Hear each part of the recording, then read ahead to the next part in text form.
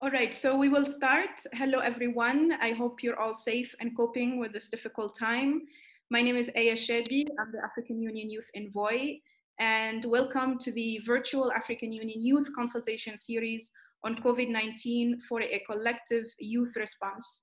We've been convening these online consultations since 13th of March, uh, but with small groups of 20 to 30 young people. Many of you asked to be part of this, so we managed to make these live webinars, and hopefully we can continue to do them uh, every week. Uh, in the African Union, the Centers of Disease Control and Prevention, knowing as Africa CDC, is the specialized technical institution leading the response on the pandemic and supporting member states and their public health institutions to detect, prevent, control, and respond to the COVID-19. So our guest today is the chief of Africa CDC. Thank you very much, Director, for joining us to engage with young people. We're going to be together for the next hour, and this is how we're gonna run the show. So I'll give first Director the floor for 15 minutes. Then we will open up to questions and engagement from you. So if you want to ask a question, just uh, go down to the bottom of our page where it says Q&A and click on Ask a Question tab on the right top.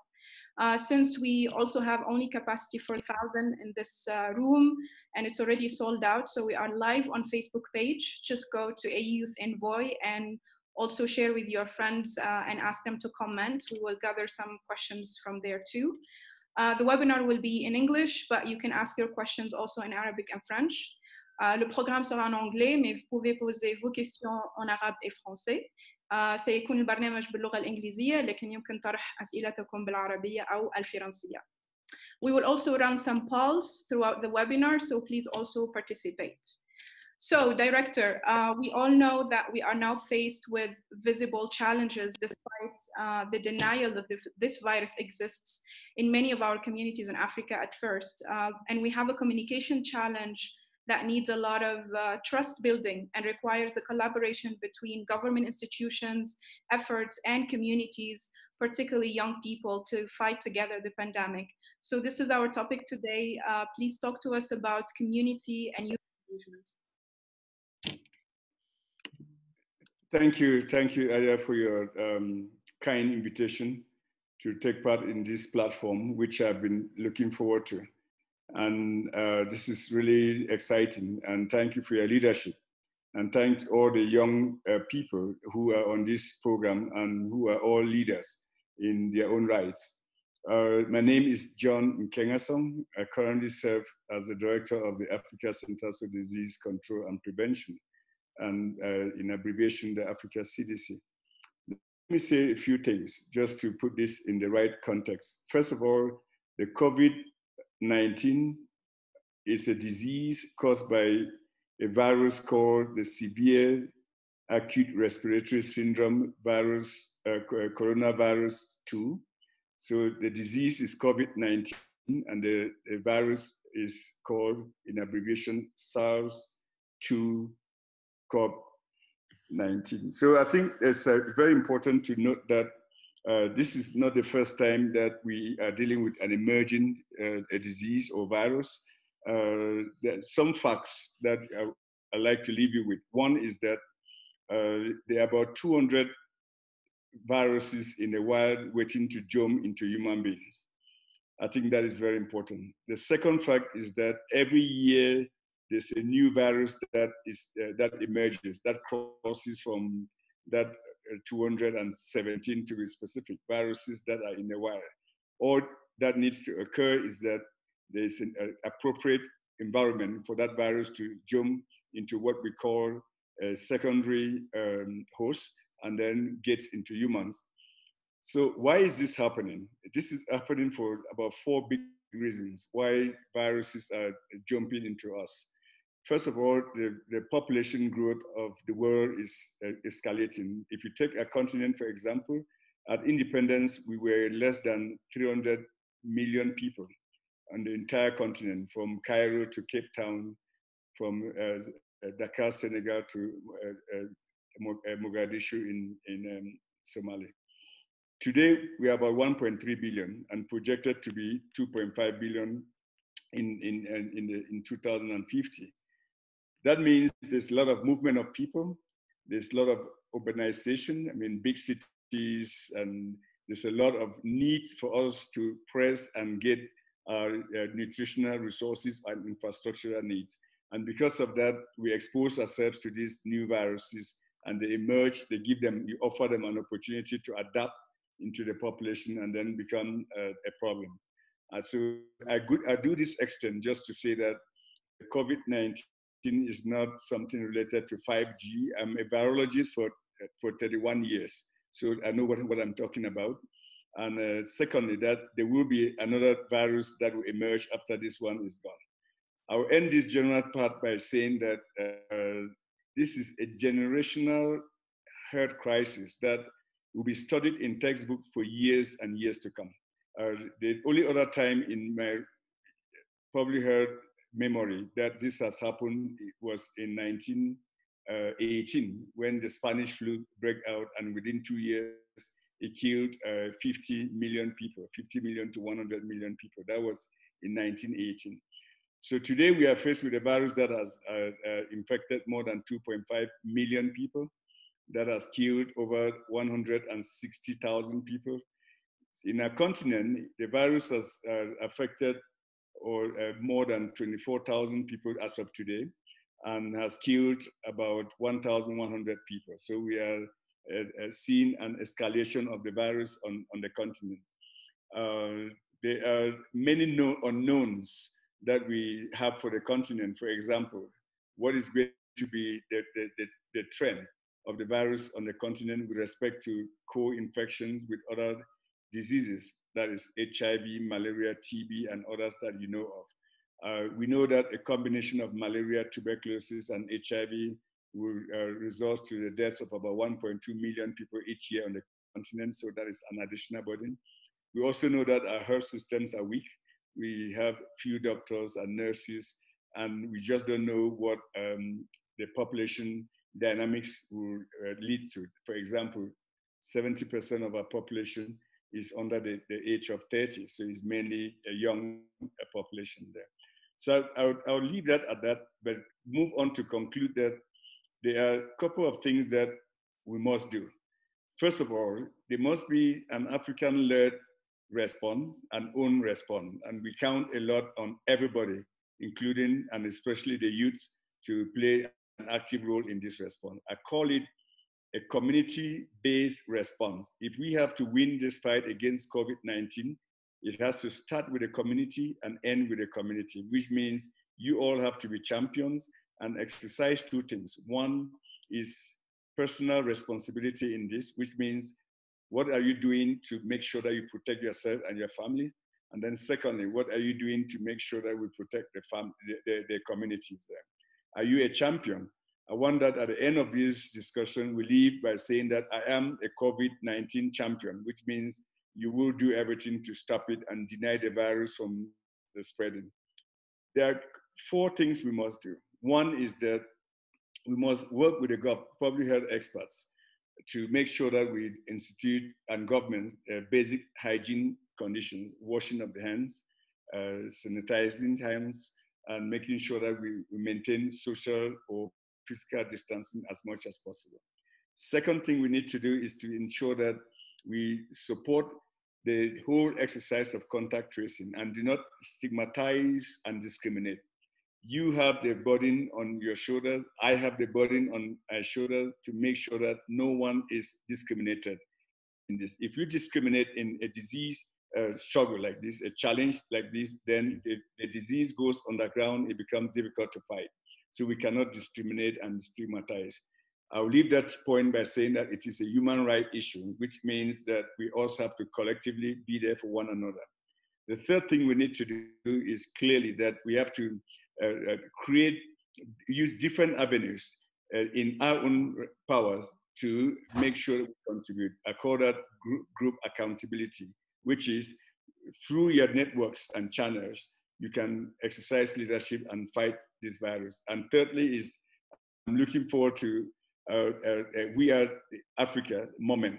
And that has to be led by the youth, which means if you recall in 1979, when there was hunger in Ethiopia, uh, there was a big movement led by Steve Wonder and Michael Jackson and, and to lead that kind of a, a, a, a, drive. This is the moment for Africa, especially for the youth, to lead a We Are African movement against COVID. So thank you very much for the opportunity. I'll stop there and take a few questions, unfortunately, because I have to move to the next room and do a briefing of the head of states, and uh, I cannot keep the chairperson waiting, but I'll take a few um, questions from you before I, I, I, go. Thank you so much, and my sincere apology that technology had challenged us. I was on the call exactly at two o'clock, but couldn't connect. Over to you. Thank you very much, Director. So young people, you heard Director saying that you need to take personal responsibility and be champion to take action, work with public health experts, and do not stigmatize or discriminate. So a couple of questions. I'll start with the one from Jeffrey. Um, as young Africans, or are young Africans now more at risk of being exposed to fraudulent medical products or unproven medicine as misinformation can lead to the promotion of such product from criminals trying to make profits and Symbiot asked the same, uh, what, what Africa CDC is doing about vaccine being tested in Africa first. So that's a very good question. I mean, I would strongly encourage you that the only you go to only two sources for information: uh, the Africa CDC website or the World Health Organization website, WHO. Those are the only two sites you should go to to look for information and we will put update it every time to let you know uh, what um, uh, who is doing which trials where in terms of drugs and which drugs are available. For example, let me just be upfront. This the, the whole discussion about chloroquine or hydrochloroquine. I would say that except someone is in a clinical trial, do not take it yourself. These drugs have serious side effects, and there is no conclusive study that have shown that these drugs work uh, against COVID-19 disease. So yes, it works against malaria. You hear a lot of anecdotal stories, but there's nothing that has gone this. We haven't seen any studies yet that has proven that, and we have to use science to drive our actions. For vaccine trials, let's not forget that we, uh, uh, as Africans, we have to contribute to knowledge and contribute to the solutions. We cannot be consumers. At the same time, we want to be sure, Africans, that we will hold everybody trying to conduct vaccine trials in Africa to the highest ethical and scientific standards. And we have published already a statement on this. So vaccine trial by uh, per se is not a bad thing, but we should, it's actually a good thing to be positive. Uh, but we, it has to be done using the international norms and standards. Mm -hmm. So the next question, uh, they're three from three different people, but I think they speak to the same issue, which is the affected communities. So Laureen says, as a young farmer, I'm curious on how AU is planning on addressing food insecurity in Africa during and after COVID. Dr. Sauti say, uh, what are the steps Africa CDC taking to prevent the spread of a pandemic in rural villages?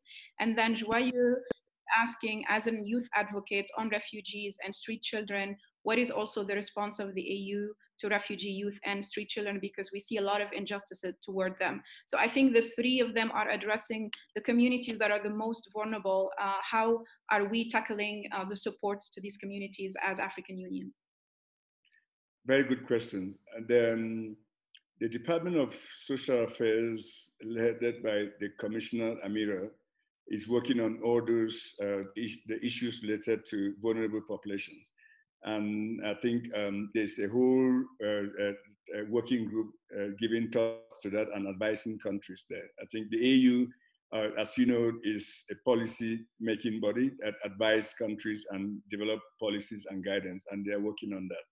The second thing is related to um, the, the, the, rural area. There's a whole department here called Department of Rural uh, Agriculture, and, and is also headed by Commissioner Sacko, and they're all uh, working on those issues there. So everything is being factored in. I mean, it's a multi-sectoral approach that the AU is using, which speaks to the need to have the whole of government, okay, approach in country because it transcends everything. It's a health issue, but also affects uh, uh, uh, uh, security, nutrition, and, and several areas there. So that's why our approach is very comprehensive.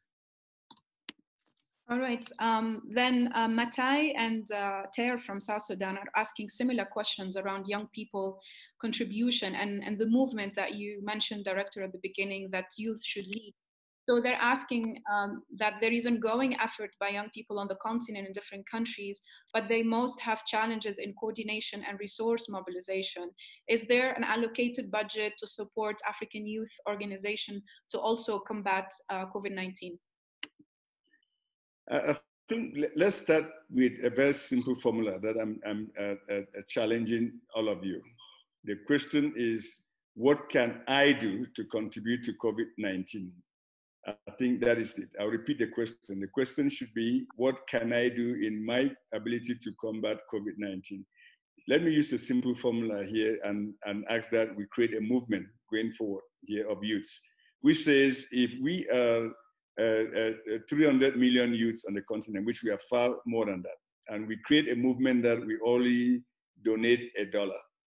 And through our networks, we create that movement that in the next six months, we target 200 million youths and we all donate a dollar, that will be 200 million. And we use that 200 million to fight COVID across the continent without going to uh, the, the, the West to look for 200 million. How does that sound? I think that's all we can do. I mean, let's look for very simple things that we can do, and then we'll be able to use that money to uh, support food, uh, food supplies, uh, any medicines, or the general fight against COVID-19. So I really call on you to get yourselves organized and, and create and create a movement we call We Are Africa Against COVID-19. And there is also um, uh, initiatives by the African Union in terms of the Africa Fund of COVID-19 and the yes. special boys who are mobilizing private sector. So I think also a youth movement can help in fundraising, but also some of these funds might go to youth organizations that are doing great work on the front line. Um, so Pacific is, is asking uh, in terms of uh, testing, what is Africa CDC is doing to ensure that no one is left behind, knowing that we have really big challenges of testing on the continent? Oh, wonderful. We have just, we have been uh, working very hard to expand testing uh, at the continental level, where we were uh, very instrumental in driving testing from almost no country that had the testing diagnostics available in, um, in January to about 48 countries now. And we've since rolled out more than 100,000 tests and uh, worked with the Jack Ma Foundation to distribute over a million tests. And we just launched an initiative, and that is why I'm running next door to take part in the briefing of the, the, the, the leadership about uh, an initiative that I also call on you to be part of it and support it. It's called Partnership to accelerate COVID-19 testing. I'll go slowly. Partnerships to accelerate COVID-19 testing with a tagline of test and trace. And I need, we need your help and your partnership there. So the whole purpose of this is that within the next four weeks, we'll roll out 1 million tests on the continent. And within six months, we roll out more than over 10 to 15 million tests. So that is what Africa CDC is doing. Mm, fantastic. Um, there is uh, Saad from Morocco who is saying, what are the precautions taken by African Union to, to fight COVID-19 in every member state, knowing that we are a big continent, we have 55 member states, how are we coordinating that uh, effort? And maybe you could speak to the Continental Joint Strategy, the task force, and the amazing yes. capacity building you're doing. So thank you. And I'll take that question as unfortunately have to run to the next meeting because uh, I'm being called already to come in there. So we've done a few, a, a, couple of things, about five major things in general. One, we are supporting countries in the area of testing, uh, uh, really scale up of testing from training, building capacity in all member states to scale up. And second, we are supporting countries in the area of surveillance and enhance port of entry screening. The third thing we are doing is in the area of infection prevention control. That is making sure that our hospitals uh, and uh, healthcare facilities understand how to prevent uh, healthcare work and especially those who take care of patients. Remember, 3,500 healthcare workers were infected in, in, in, in China. So we don't want that to happen in Africa. The other area we are working very hard is in the area of case management.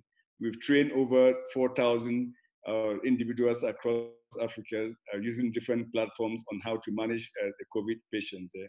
And lastly, the risk communication. We had uh, a series of workshops in Tunisia where we trained back to back over uh, uh, 35 member states there. So that's what, excuse me, what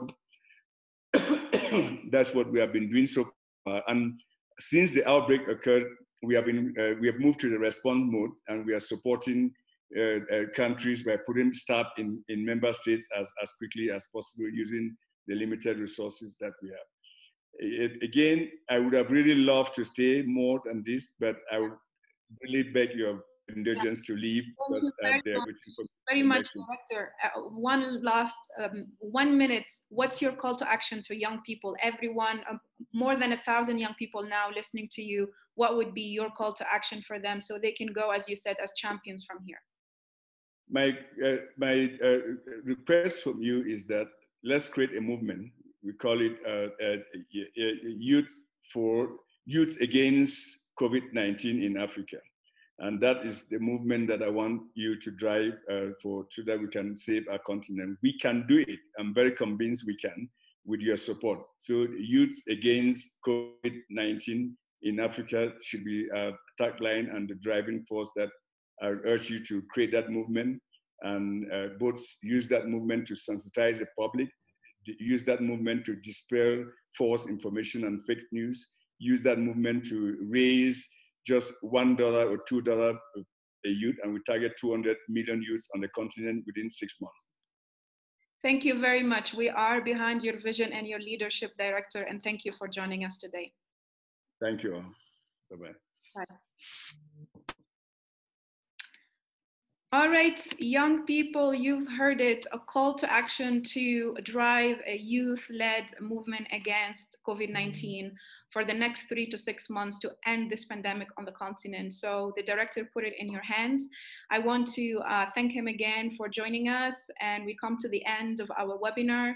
Uh, we had the honor to have him today, but we will be hosting this webinar every week, uh, same time, every Wednesday, 2 p.m. East Africa time.